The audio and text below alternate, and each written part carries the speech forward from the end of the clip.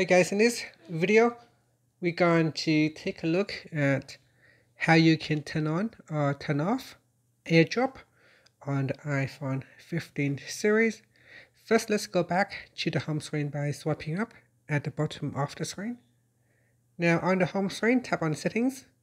Then in the settings page, scroll down and then tap on general. Next, tap on AirDrop now to turn off AirDrop, all you have to do is tap on receiving off. And to turn on AirDrop, you can select contacts only, or you could choose everyone for 10 minutes. Now that AirDrop lets you share instantly with people nearby, you can be discover, discoverable in AirDrop to receive from everyone and only people in your contacts. And that's it. After you can swipe up to go back to the home screen. Once you turn on, anyone can send you file.